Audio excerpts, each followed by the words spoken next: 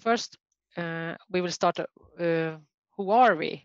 FibRe, um, what are we? We are a competence center and Vinnova competence center, and we have 22 different partners. Um, and what we hope we would like to achieve is uh, lignocellulose-based thermoplastics uh, in a fossil-free society.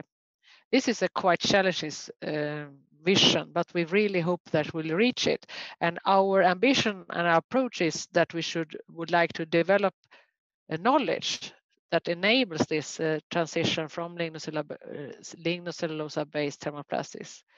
And we will do it by have as little as possible modification of the, these natural biopolymers.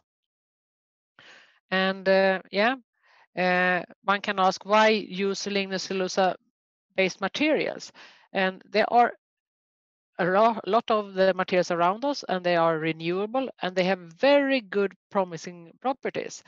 So what we want is to keep as much as possible of, of this uh, structure and just do minimal modification of them.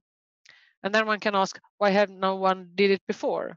Yeah, many people have tried. And uh, the challenge here is that we, uh, the when you process the material, it has a very high risk that it degrades and is destroyed.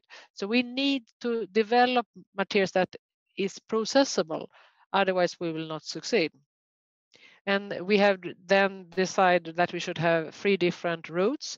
So we will work, in, work with molecular modification that we have here, advanced characterization or uh, predictive processing. And altogether, we will contribute to uh, establish the knowledge uh, that is required for this uh, transition to, to lignocellulose thermoplastics. And this is, of course, another way of working a little bit. So here is the research, and um, we will then work together with the society and the partners in FibRe.